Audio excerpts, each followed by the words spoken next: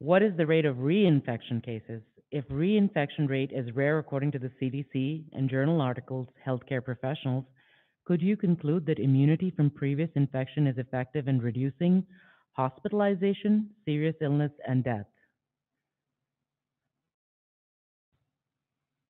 Yeah, I mean, if a person's been infected and they get reinfected, there are a couple of concerns with the reinfection. One is all the unvaccinated people around the reinfected person. You know, you can still spread the disease. And one of the big concerns we have, which we might address later, are the variants that we are seeing with this particular infection. How do variants come around? You know, it's like if if Dr. Sara Khan and I go and buy two lotto tickets, chances are we're not going to, you know, win. I mean, I hope we do, but I don't think we will.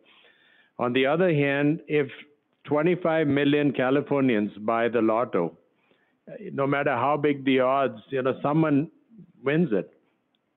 So similarly, if you need certain genetic mutations to confer resistance and vaccine escape for the virus, the more opportunities you get it, you give the virus to replicate, the more likely that if it's replicating in millions of people, uh, there'll be variants that will emerge that are resistant to our vaccines.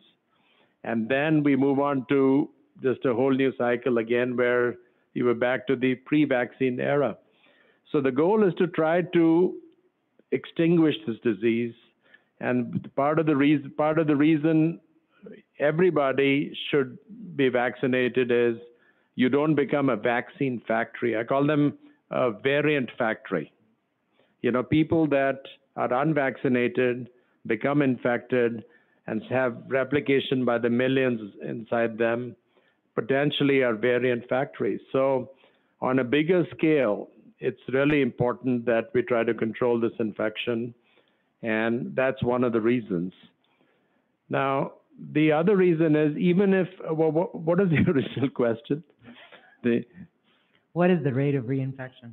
Yeah, that that Dr. Mourani addressed. You know, from one to Break, that was breakthrough. Reinfection in, in so reinfection in patients who've already had COVID. I think that this is a different question. What the breakthrough was people who were vaccinated and still got COVID, and reinfection would be somebody who had COVID and got COVID again. I think the it was almost one to one and a half percent is the reinfection rate. I mean the numbers keep changing, but has one has to look at them. And the less exposure you have to the virus, the the lower the number is going to be. You know, personally, we're tired of this. You know, all the nursing staff and the physicians, we want to see an end to this.